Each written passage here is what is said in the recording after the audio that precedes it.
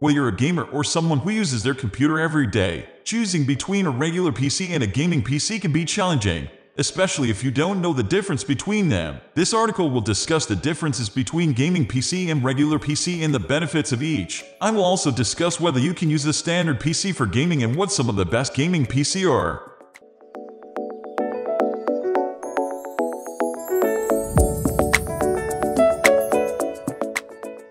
Gaming PC vs. Regular PC. What's the difference? The main difference between gaming PC and regular PC is their overall power and performance. Gaming PC can handle more intensity and typically emphasize graphics processing. Standard PC are comparatively basic and typically cannot meet the demands of gaming.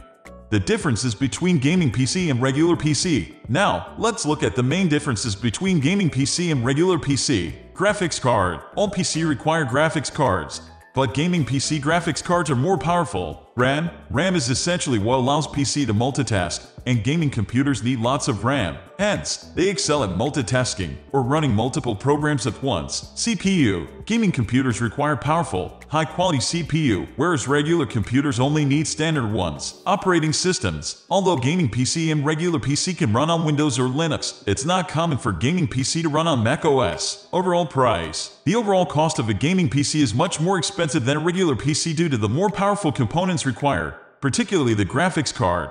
We are going to end this video right away. If you have any query or information to share, please leave a comment below. Thanks for watching.